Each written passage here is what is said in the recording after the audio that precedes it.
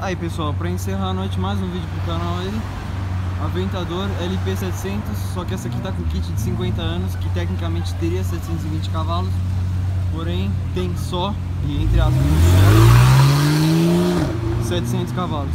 Mas que, meu, é muito forte E tá com kit.